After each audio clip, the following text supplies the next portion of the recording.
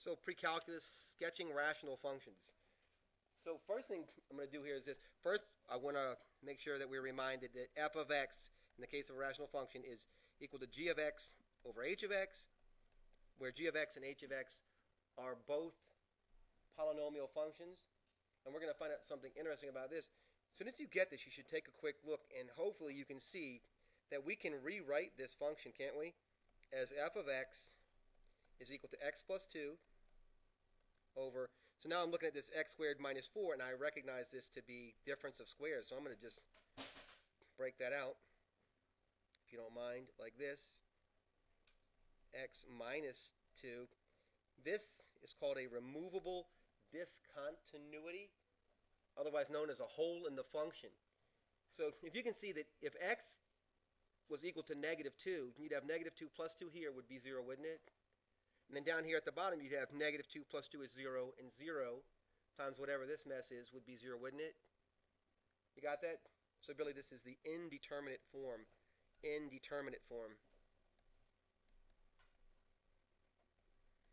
And the reason that's so important, especially when you get to calculus, is that it will tell you that there's something hidden here. And we can we can see what it is that's hidden. So this is what I'm going to do here. I'm going to make a notation to myself that says that there's a hole at x equals negative 2. And I'm going to set myself up for success by putting this point here. Obviously, if I put in negative 2 now, it won't help, will it? So I'm going to go ahead and remove this discontinuity if we agree that x plus 2 over x plus 2 is 1, isn't it? So I'm just going to remove that.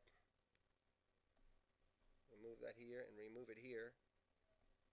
And then put in 1 up here. Everybody good with that? And then I'm going to evaluate this, Harrison, because I want to know what this x value is now. So I put in negative 2 here, and I get negative 2 minus 2 is negative 4, isn't it? So we have, we have a hole at the point negative 2, 1 fourth. And it's really important that at the end of our graphing, we go back to that. Is that okay? Now we get to number one. And the first thing we always look for is our x-intercept. X-intercept is when what happens? When g of x is equal to 0. I want you to remember, though, this is where I messed this up before, but I'd like to remind everybody that this is our new function right here, isn't it? Right? We're not looking at this parent up here anymore. We right? We remove that discontinuity, right? So what do we know now about an x-intercept? No x-intercept. And that would have gotten in our way if we weren't so smart. We could have screwed up a whole video. Nobody knows that we made this video before and screwed it up, so it's good, right? so what comes next, you guys? Vertical asymptote. Vertical asymptote is that number for Wooten. So what is that? What is that number? It's where h of x equals 0, right? Right? It's the uh, where this thing becomes undefined. So we have x minus 2 equals 0. x equals 2. Going to put a little note around this and put VA for vertical asymptote. Third thing we're supposed to look for? y-intercept. I like that, don't you? Some algebra y-intercept. f of f of 0. So we have the point 0 something. f of 0 is what? Come on, here's the function right here. It's just one half, negative 1 half, isn't it? 1 half, so I'll notate that, negative 1 half. Good job. And the fourth thing we're going to do? Horizontal asymptote. And this is what also, you were just asking me about horizontal asymptote.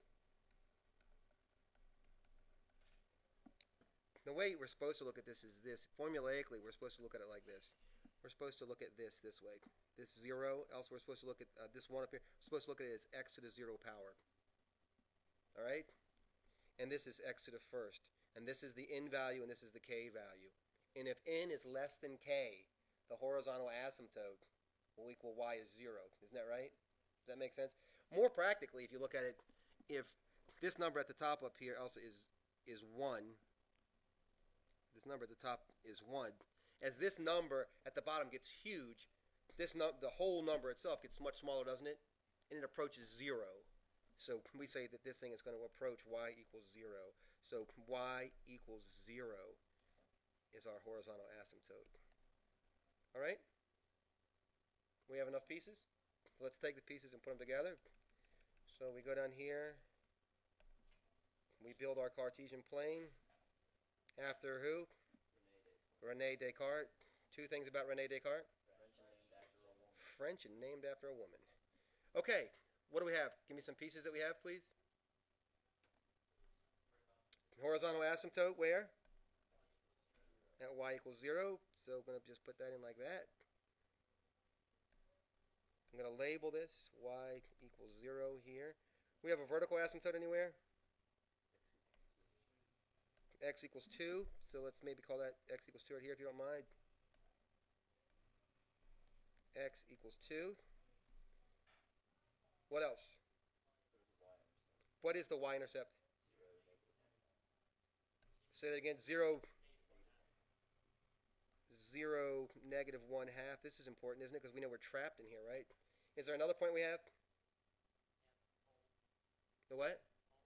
Oh my gosh, good job. All right, so let's do this first. Let's do this. Good job there. Good. And where is the hole in the function? Negative 2, 1 fourth. So look, if you guys don't mind, I'm, I'm going to say, if you don't mind, it's right there. Is that all right? And it's a huge point. It's really not, sorry. So negative, is it, it's negative 2 what?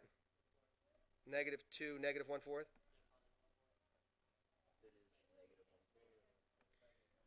Guys. Right? That's right. So somebody asked me, then how do we know? What I think this thing does this on this side, but how do we know? How could we test it? It's really easy because it's either it's either under it's either under zero, moving towards zero, or it's over zero, moving towards zero. So it's either doing this or it's doing that. How could we figure that out? Yeah, plug in a value that's greater than two, like f of three. So what's f of three? F of 3, our function is 1 over x minus 2, is that right? So 3 minus 2 is 1. I don't care that you put that in. I'm going to put it in maybe here and just call this the point. We say 3, 1. And I don't want to argue about if that's good or perfectly uh, symmetric, uh, perfectly uh, accurate or not, but it has to do that now, doesn't it? All good? Okay.